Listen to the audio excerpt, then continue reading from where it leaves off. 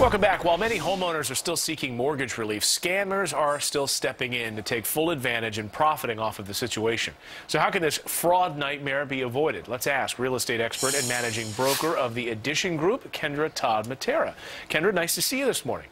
You too, Clayton. So scams still going on, fraud still taking place. How so?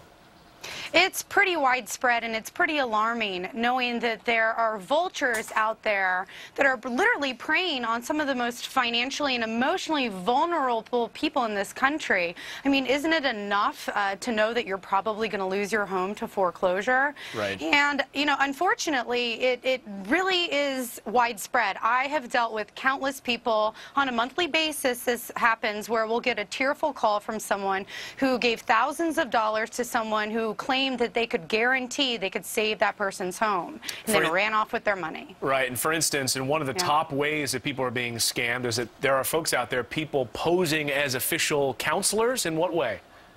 Yes, there's actually four really big scams to be aware of. The first is, as you said, uh, people posing as official counselors. They'll create a company that sounds very much like the name of a government agency and nonprofit and tell you you've already been approved for a loan modification and then demand a fee.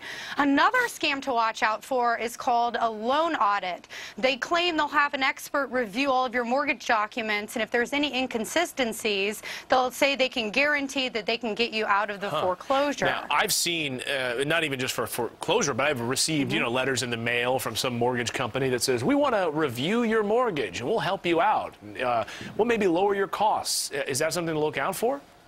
Well, uh, yes and no. Uh, the thing is, they're very sophisticated scams, and they really do seem like they're legitimate. And lenders will send you out those types of notices. The important thing is to call your lender and verify that that notice is actually coming from the mortgage holder or the mortgage servicer who you pay your mortgage payments to.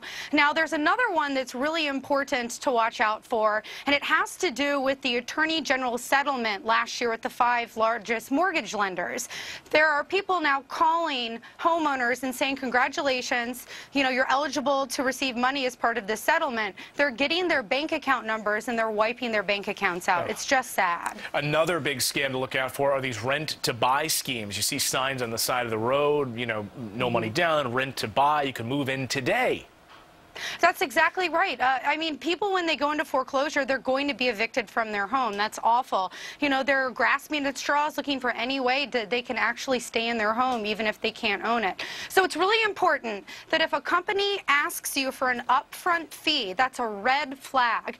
The FTC actually has a law that makes it illegal for any company to take a homeowner's money uh, at any point in time before a lender is actually uh, given written notification that they've approved a loan modification or loan relief. So if they ask you for money, stay away. Kendra, where can people find you on Twitter if they have any further questions about real estate?